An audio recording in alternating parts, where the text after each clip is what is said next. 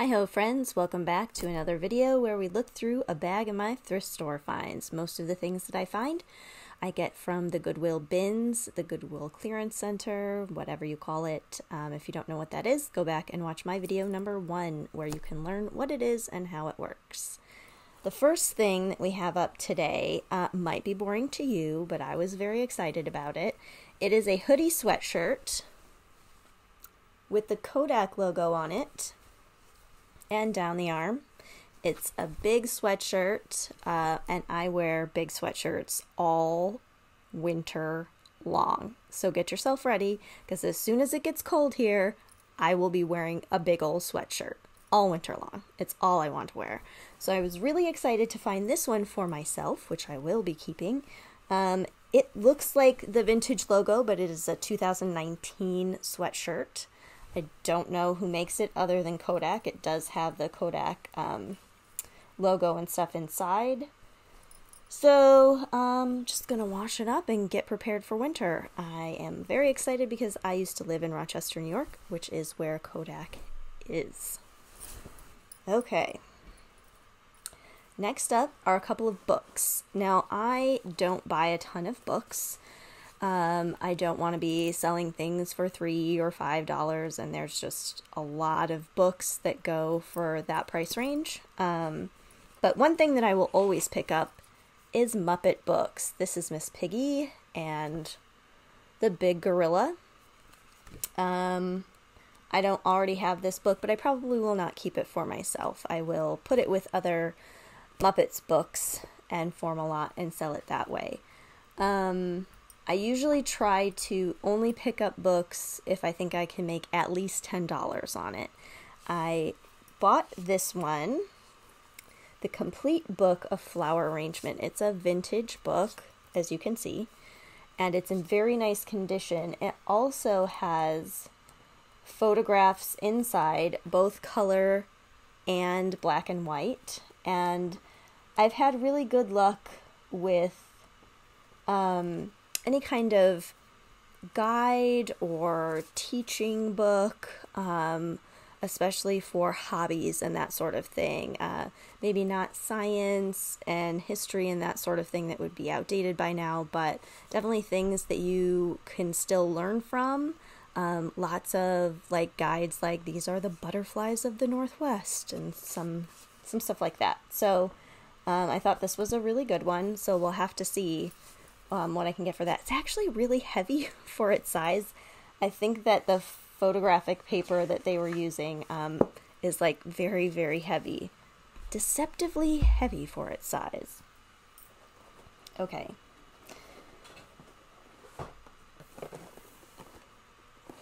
Okay. Here's something I bought. and it actually is I think all in here. I mean, I don't know how to play the accordion, um, so I have no idea if this thing works. But it has buttons. It doesn't seem to have a place to put any batteries. It does make noise. I don't know if it it doesn't seem to be doing anything with the keys while it's making the wheezing noise. There's these things over here. Um, it looks brand new. I don't know what it's worth. I did not look it up. Um, I just shoved it into my bag. It still has its original box. I don't know if it's vintage or new. I have no information about this. And that's just one of the things. Like at the bins, it's fast, it's furious. So if you are hesitating too long, you're going to lose out. So if you think that there's something that you might want, just toss it in your bag and keep working. Um, and so I'll have to like do some research on this um, piece. It has straps. Um, so we'll see. We'll see. I think you know, you strap it to yourself, right, on the shoulders. I really know very little about an accordion. So we'll see what happens with the accordion. Um, I really couldn't say. I just have to research it a lot before I list it for sale. Original box. Okay. Next thing that I got is a leapfrog. Do we remember leapfrog? It was like um discs, I want to say. Is this a CD for um, like a video game console sort of thing uh, for preschoolers or young kids to learn. Um, and this is Bear in the Big Blue House. How fun is that? I did look this up um, and comp it before I bought it. Um, so I, I know that I can make enough money to make it worth my while. But I'll open it up and make sure everything's inside. Um, but it does look like it may not have been opened before. So we'll see. Learning. Okay, the next item was gifted to me by a friend. Shout out to Adam and Darcy. This is a Swatch watch from the 1994 Olympics in Atlanta, I believe and it's still in the package. One of the coolest things about this is that over here on the side, there's a little slider and it goes through the years 1984 to 1994. I mean, 1894 to 1994, right? Um, and it has like a little animation situation on the side, which is very cool. A lot of information about the Olympics on the packaging. Swatch Watch. Now, if you grew up in the 80s, early 90s, Swatch Watch was a huge deal. You had to have a Swatch. Um, I did have a Swatch. Uh, I forgot about it. I think that I repressed it because it wasn't great and it was sort of a letdown, honestly. It was just like very light pastel pink. You know, if you want a Swatch watch, you want something that is very loud, real bright, lots of crazy graphics, um, and mine was just pink. Um, so I just repressed that, put it away, forget about it. I never had a Swatch watch, in fact. I'm still waiting for the perfect one. okay, bring the rest of this bag up on my lap. Oh, right, so here's this purse. This is a Disney purse. And on the side, it says, Good as Evie. Uh, this is got to be from a show that I don't know anything about, so I'm going to look that up. But I thought it was like a very cute purse, really, really cute design. Disney. And if you're wondering if I am the girl who will buy single Build-A-Bear shoes, now you know. I am. That's a girl that I am. And yes, I have made several pairs that way. Over time, biding my time, collecting the single shoes. Another thing that I pick up are vintage um, picture frames. These are small, but I will do all sizes. Um, people really like a vintage frame, and so do I, honestly. I keep some of them for myself. I think that you know that I always pick up Little People stuff. Fisher Price Little People, uh, now made by Mattel. And uh, it doesn't matter if it's new or old, all of the years of Little People are great. And I got two that are really adorable that I wanted to show you. A pig in mud. Look at him. He's so cute. he has like mud on him and he just looks really happy. And then one of the fairies from Sleeping Beauty. How cute is she with her tiny little wings? Can't remember their names right now. It's not Merryweather, she's the blue one. And as you know, I do like to pick up supplies whenever I can. And these are sheets for a lint roller. I use lint rollers all the time because everything that comes from the bins is covered in pet hair and glitter and dust. So, lint rollers are something I use all the time. Um, also, something that's fun personally for me to find is Yankee Candle stuff. Um, these things are expensive. So, if I can find a little Yankee candle for basically zero dollars, I'm in.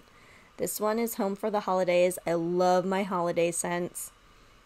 Very exciting. Okay, so I'm not sure how many of you are going to remember this, um, but this was a toy line from the 80s called Precious Places.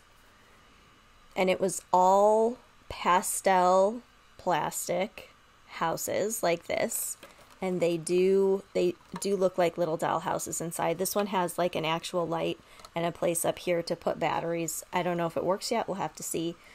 But this was based on the idea that the dolls had magnets in them and that different things could happen in different houses because of magnets.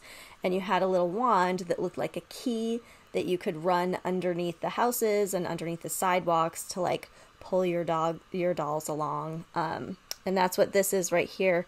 There's a little magnet there on the door so you can open it up for them and then you can bring them right into the house via your key running underneath. Um, I just love the look of these. It's very, very detailed um, on all of the decals. The design work is extremely detailed. It's very Victorian, um, and the colors are just so pretty. Um, I didn't have any of this line, but I thought that they were very cool. And I find them once in a while, like not a whole lot, they're kind of rare at this point, but still very cool. Uh, I tend to pick up Disney stuff, not all Disney stuff, but I take a look at it, um, run comps. I got this. This is a Minnie Mouse bank, I think. Oh, yeah, bank right here. And it's rather large. I don't know if it has a date on the bottom. I don't think it does. No, it does not. But very bright, very vibrant, would be real cute for a kid's room. And it is made of like rubbery plastic. A lot of stuff I have to do research on. I'm trying to get better about doing research before I leave. So, any of the things that I'm not sure about, um, that I'm not sure I want to buy, I put in a different part of my cart and leave it till the end to like look up comps and stuff so that I can keep going um, in the heat of the moment. Um, so I'm just throwing stuff in my cart. Some of it goes into the absolutely buying it part, and some of it goes into the look up later part. This went into the absolutely yes right away part. This is a Washington football team um, doll from the days of yore. You can tell it's from the days of yore because this looks like a Native American, and that's what they used to have as their logo. That changed very recently. This is a licensed NFL product, and anything having to do with teams, um, sports teams, always sell pretty quickly for me. And uh, I live in Virginia, so Washington. Um, this is Washington, D.C., not Washington State. Um, that stuff abounds. Okay. The next thing I have never seen before, but it is a vintage applause plush, and it is a teddy bear on wheels. And it does roll along, it has a pull, and I just thought he was very nice. Um, applause from the 1980s, 1990s. Um, this one is 85. Is really well done. Uh, very quality stuffed animal. So there's that guy. Now, this thing I thought was something, it turns out it's something different. Um, slightly, I guess. This is a Littlest Pet Shop, and they do have some that are in this large size like this, which I have found before. This one, however, has a place for batteries and looks like it has sound and has an on and off switch. I don't know.